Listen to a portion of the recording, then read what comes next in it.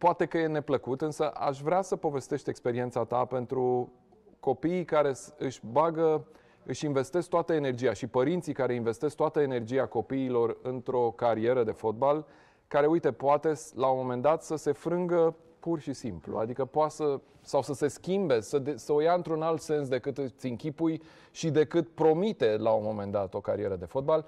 Vreau să te întorc cu 11 ani în timp și să-mi povestești pas cu pas momentul Belgia națională, Belgia 2011, începând cu convocarea, ce ai simțit, dacă ești de acord cu chestia asta.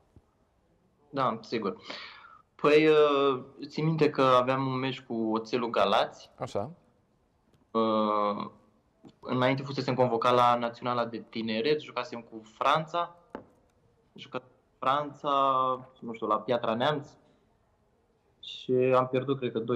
Apoi următoarea convocare, la fel, am avut un meci înainte cu Oțelul Galați. Da. Și vine domnul Grigoraș, era antrenor atunci, și vine și îmi spune, vezi că ești convocat la națională. Eu până atunci mai avusesem așa discuții cu domnul Neagoi, adică venea după noi în cantonamente, mai eram eu cu încă un coleg, venea, ne urmărea, vorbea cu noi, dar nu, nu m-am gândit niciodată că o să fiu selecționat la echipa mare. Și așa.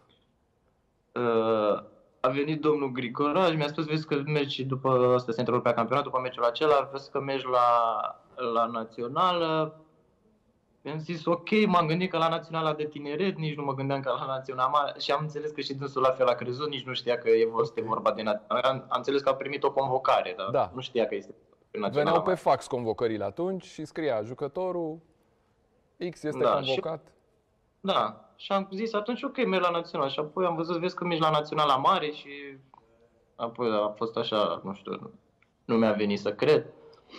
Am ajuns în cantonament, am întâlnit cu Neapiții, m-a felicitat.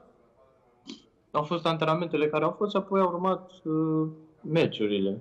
Ok. Mai ții minte, te-ai așezat pe bancă, începea să pregătea un meci, chiar dacă era amical, era cu o echipă puternică. Avem niște imagini cu tine pe bancă, poate le și vedem. Lângă Tănase, cred că stăteai pe banca de rezerve a Naționalei. Cristi Tănase. Stăteam, lângă, stăteam în prima dată, m-am fost așa că l-am văzut uh, puțin șocat că l-am văzut pe companii. Așa? De când ce? Ai, când a intrat când unde? A, Uite, asta e poza. Ai, da. E Grigore aici în poza asta, dar e și da. Tănase undeva lângă tine. Da, da. Când a intrat pe... Ne pregătea să ieșim afară, gen, să vedem, uh, să vedem uh, terenul. Da intrat pe ușă, l-am văzut, a lăsat capul așa în jos, din cât de mare era, n-avea, dătea cu capul în, în pragul de la, de la ușă și am zis, oh, cât de mare. Da. Și asta a fost. Bun, pe am așezat pe bancă, am, a fost o atmosferă destul de plăcută. Mm, mi-a plăcut așa, eram puțin, practic, trăiam așa visul. Uh-huh. Parcă nu, nu era adevărat, dar apoi, dacă mi-aduc aminte, am și declarat că dacă știam că o să mă accidentez, nu, nu doream să, să debutez, să fii jucat atunci. Era 2-0 scorul, Belgia a marcat două goluri în prima repriză. După pauză, naționala dă gol prin Daniel Niculae, reintră cumva da. în meci. Și a minut... ratat penalti. Cum? Parcă, nu? Cum? Parcă s-a ratat un penalti pe final. Și cred, cred că s-a ratat și un penalti, da, pe final. Uh, minutul 78, te cheamă, cine te-a chemat? Negoie, ți-a zis, dă drumul la... Da. Dă drumul la încălzire, dă, intensifică un pic încălzirea că intri. Da. Ce era da, mintea da, ta da. în momentul ăla? Uh, eram fericit, dar cu, și cu, atât, cu, pe lângă fericire aveam și foarte mari emoții. Foarte mari emoții. Da. Emoțiile acestea sunt până, până intri în teren, până atingi mingea odată. Ce ți-a spus Că Am văzut că te-a luat pe margine, ți-a spus ceva, mai ții minte ce ți-a spus? Era Mertens pe partea ta, deci tu intrai în dreapta, Mertens era mijlocașul stânga al Belgiei. Coleg, dar nu mai ții minte cui. Cum? Cum? Dar vă dați seama, coleg. Ce, ce ai spus? Că și... s-a, întrerupt, s-a întrerupt un pic. Mi-a zis... Mă auzi acum? Acum da. A, da, mi-a transmis să merg imediat cu minte în teren, să merg să-i transmit ceva unui coleg, dar nu mai țin minte ce să-i transmit și Așa, ok. cui, cu, coleg. Da. Da, vă dați seama, când m-am intrat, uh, colegul era în față, nu puteam să merg, să merg în față să-i spun și să-mi las uh, postul de descoperit și m-am dus direct pe, pe postul meu. Da. Te-ai dus, Mm. ai apucat să, nu mai știu, ai apucat să atingi, atingi mingea, ai jucat vreo fază cu Mertens? Scuză-mă, nu te-am auzit. Am zis, dacă ai apucat să joci vreo fază, dacă ai apucat să te întâlnești cu Mertens, o luăm treptat. Uh, țin minte că atunci cu... Am văzut că juca Mertens și era Luchin, Da? uh, fundat și oarecum se bucura așa că nu joacă Hazard. Da. Dar uh, l-a prins pe Mertens care cred că a fost mult mai, mult mai dificil. Mhm.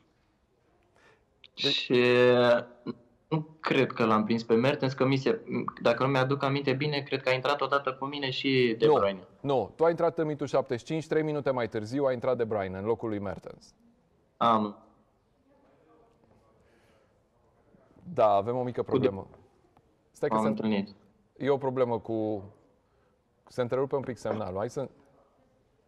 Te sună cine... Adică e, po- e posibil să te sune cineva în momentul ăsta sau se întrerupe de la... Nu, nu mă sună nimeni. Da, încercăm să restabilim. Un pic mai apleacă uh, telefonul, că se... Te... A, așa, ok. Bun. A intrat De Bruyne, l-ai simțit un pic în, în 3 minute până te-ai accidentat? I-ai simțit? L-ai simțit? L-ai... Mm, N-am avut, sincer, timp să-l simt. Știu că a venit, cum, țin minte faza cum am accidentat. Cred că era și debutul lui atunci la Național, nu sunt sigur. Așa?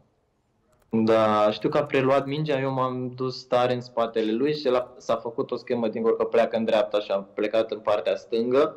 M-am dus în partea dreaptă, era un teren foarte nisipos. Nu știu, era nisipos ca, cred că ca meciul nostru cu Danemarca. Jos era foarte moale. Și când am vrut să plec după, după De Bruyne în partea stângă, mi-a, mi-a rămas piciorul în, în gazon și a- am simțit o, o troznitoră.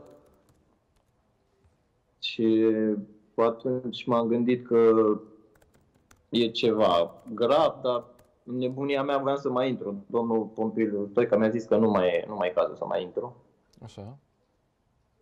Mm, apoi nici nu știam ce înseamnă operație de ligamente, de...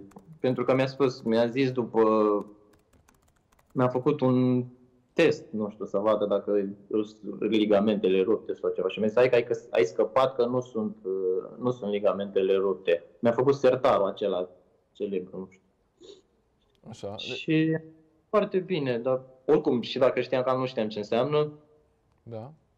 Uh, Apoi uh, am ajuns, am plecat la București cu Daniel Nicolae și cu domnul Dumitru Dragomir. Mai aveam un meci. Am plecat la București să fac remeneu. Am făcut remeneu și apoi mi-a spus că sunt ligamentele încrucișate și că necesită o, o perioadă de 5-6 luni. Când am auzit neștiind ce înseamnă, am zis că a, eu revin mai repede, n-am cum să, n-am cum să stau 5-6 luni. Da. Da, cam asta a fost. Uite, astea sunt imaginile de atunci cu Pompiliu Popescu în spatele tău. Deci în momentul ăla erai cumva liniștit că nu știai că e ceva grav. N-aveai să... Da. Plus că puteai să calci din ce am văzut. Adică, Uh, Și mi-a povestit domnul Pompiliu Popescu că din cauza musculaturii, că aveam o musculatură destul de bună, nu, nu simțeam chiar așa de, de tare impactul. aha, ok. M-a durut foarte tare pe moment, apoi am zis, am vrut să, să intru din nou. Bun, a început procesul de recuperare. Operația cum a fost? Cu tendon, lua- aici a fost, pro- uh, de atunci ți-a fost luat... o- Nu, Asta a fost la piciorul stâng, n-am avut probleme. Așa, Mi-a luat, nu știu sincer de unde mi-a luat tendonul, știu cum am operat la București. Mhm. la București și n-am, n-am avut probleme musculare după, după accidentarea aceasta. Probleme musculare au apărut a- la a doua operație, după ce m-am operat uh, și a- mi-a fost luat din spate. Mă gândesc că prima dată nu mi-a fost luat din, din, tendon, din tendonul din, uh, din spatele piciorului. Deși trebuia să stai șase luni, ai stat, cred că 8 luni, dacă nu mă înșel, după prima accidentare. Da, a fost, mi-a fost foarte greu prima accidentare. Mi-a fost foarte foarte. Am, am avut dureri mari. M-am operat de ligament încrucișat și menisc. La 5 luni mi s-a din nou să zic așa, mi s-a rupt din nou meniscul, că n-avea cum să se mai rupă. Eram în proces de recuperare, Așa. a trebuit să mă mai operez încă o dată de menisc. Dar cum s-a rupt? De ce? În timp ce te antrenai ușor, ușor, nu? Sau... Da, teoretic nu era normal. Adică eram în proces de recuperare, n-avea cum să se rupă. Probabil n-a fost, n-a fost prima sau prima făcută, prima operație probabil n-a fost Ah, destul de ok. ok, bun. Din cauza aceasta a durat 8 luni, 8 sau 9 luni, dacă mi-aduc aminte. Ce simțeai văzând că trece timpul și tu nu mai revii, deși aveai super, erai super optimist la început?